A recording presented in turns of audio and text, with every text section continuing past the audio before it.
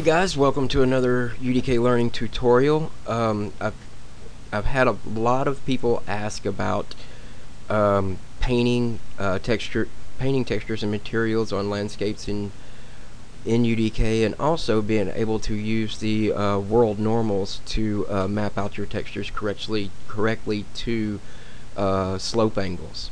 I'm to cover both in this. I'm basically not going to go into detail on how to do it. I'm going to show y'all basically how I did it and how y'all can go in and sort of sort of use what I've done and go through and be able to you know use that. Well anyway, I'm going to go ahead and go open one of my maps I just created recently. Um, this one is done with uh, hand painting on a landscape. I think this is the one with hand painting on a landscape. Nope, this is the one that's actually done with a, a um, with the uh, normal Z. Uh, let me show you the material real quick, um, and I'll bring that up. Let's see, we'll just do it this way. A little easier, just go in here and find the material this way, and I'll bring it up. Basically, a lot of this is, um, you know, just copies and paste uh, from the uh, from the uh, from the diffuse to the normals. Sorry if I say um a lot, but that just happens. Let me pull back and I'll just give you a full view of the whole thing real quick. Um, I'll go ahead and kill that for right now. We'll get started here and show you the um, the actual work of the beauty of this thing basically to start out with this and get it to actually uh, derive normal z which you see here um, you'll need to um, get this little set of nodes here going. Um, what this does is it brings it down to a plus one minus one or 0 to 1 uh, number brought in. That way um, these slopes are from 0 to 1 and these two here would be the way you would uh, differ differentiate between the slopes between where you want your textures to come from in the lerp and it comes through the constant clamp and the divide and you bring it up to your lerp here. Um, I'll go ahead and sort of move that out that way you can see how it's connected. And you bring your first material in here. Now these right here I'm still working on that. Um, that's just sort of the way I've got it going right now, but I brought in two different textures with two different terrain coords. Well, actually, they're the same texture with two different terrain coords to sort of give it a, a great blend pattern. And I brought in a um, a, a, sand texture, you know, uh, or a rocky texture to sort of give the uh, the grass sort of a breakup. Now, one thing I want to say here on the uh, height map uh, parameter 2D. As you can see, it's height map. Let me go ahead and show you the uh, the properties here. Um, no, that ain't what I wanted. All right. If you look here, uh, the parameter name is height map. Um, and I've got the description as height map as well. You don't really need the description, but the parameter height name, you want to name it height map. That is required. Also, it doesn't matter which texture you stick in there. It can be any texture at all.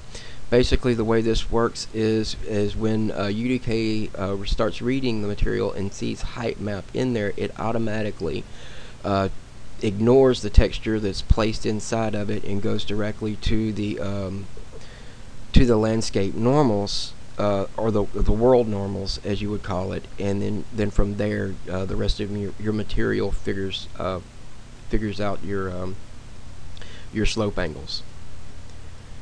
And as you can see, whoop, bring it down here, you can see that I've basically just copied that and pasted it on the normal section here.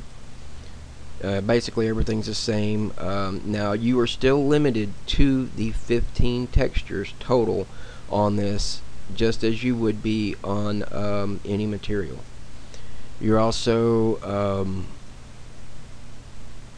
you also can um, combine this uh, with um, with some with the levels like with, with your terrain weights and your terrain um, terrain weights and terrain coords you can connect those to those and from there you know your terrain rates terrain coords um, you connect it in between those and lerp it in that way too as to come in and maybe get some more textures in. But like I said I mean your total texture count cannot be over 15 so you sort of gotta pick and choose what you're gonna do when, when you're doing it. Now that you've seen that I'm not gonna save any of that. Uh, you've seen that um, I'll sort of come in and show y'all basically um, this is a 4033 by 4033 terrain. It is massive. I've been working on I just built this yesterday. And on another side note, um, for anybody that's interested in building landscapes in UDK, you need to use 32-bit um, version of UDK. You can build lights all day long in it with the 64-bit you will get a crash every time when you build lights. There's no workaround. This is the only workaround is to build them in 32-bit now once the lighting is built you can reopen it up into the 64-bit and it, you can play it. As long as you don't make any changes anytime you need to build lighting you will have to bring it in the 32-bit which sort of is not very good because 32-bit really takes like 10 times longer to build it. I don't know why. Well actually I do but I'm not going to go through and explain it now let's move on to our other one. We'll move on to landscape to 1. Now this one here is, I think, is the one that I hand painted. Yeah, I went in and just built the uh, map. As you can see, it's all blacked out where I haven't added any mesh, any uh, hadn't added any materials. Now all the materials I'm using are all stock. I think they're all stock textures um, in UDK, but they might not be. Now I've got three textures here. I've got a uh, brown grass texture, then I've got a rock, uh, a sandy rock texture, and then I've got the uh, other uh, cliff texture used from UDK. Uh, go in and go ahead and show you the uh, show you the material.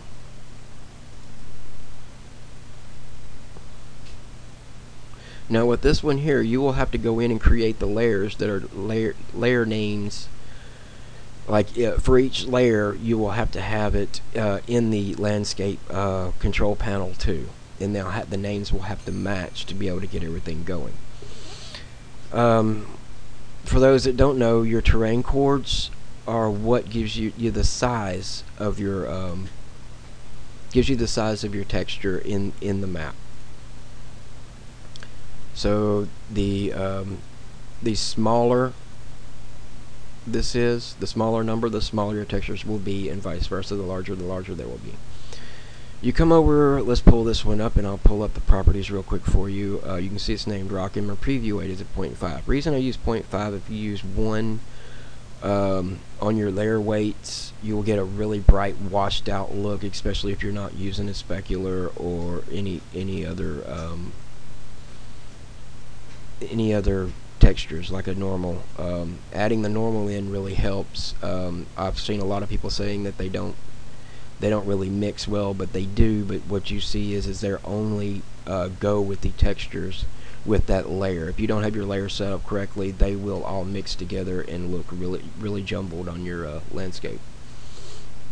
As you can see, this is a basic setup. That's all I've got. Um, it's just very simple setup